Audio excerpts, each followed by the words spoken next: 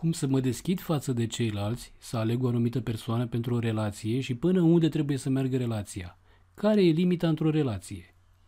Asta cu deschisul și relația, eu zic să stați închiși, să nu vă deschide și să aveți mare grijă la lucrurile care vă periclitează autonomia personală. Când dragostea celuilalt vă fură liniștea, vă fură pacea, vă fură bucuria pe care o aveți, opriți relația și plecați acasă să vă reveniți. Nici o iubire din lume nu-i cere celeilalte iubiri, pacea, fericirea și bucuria, ci îi adaugă bucurie și pace și fericire. Cum poate o fată să iubească un băiat care o face pururea să plângă, că-i mitocan, că-i pute sufletul de îngânfare și de egoism? A, facem pe martirele, ci că îl iubesc din milă. Hui, să fim serioși. Mi-e milă de porc că taie de Crăciun, nu? Păi compar mila aia cu mila pentru ăsta la alt?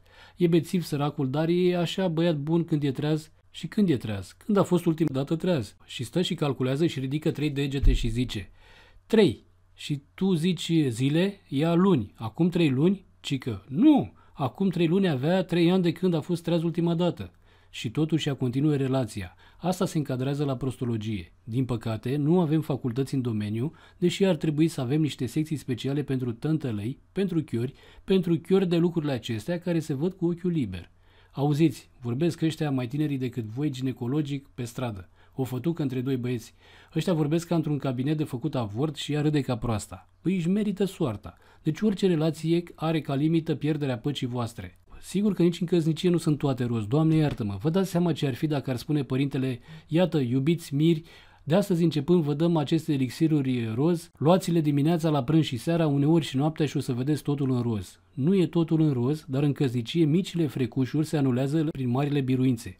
Când te învingi pe tine în cadrul relației și dorești pacea ta mai departe, cu obstinație și fidelitate, admițând că iubești nelimitat, chiar nu mai e limită în relație că până la urmă căznicia asta și spune frontiera aia dintre voi se distruge și rămâneți Uniune Europeană fără frontieră internă, nu? Dar fiți atenți că și în cazul Uniunii Europene, bornele au fost luate de pe hotar, dar nu și zdrobite cu ciocanul.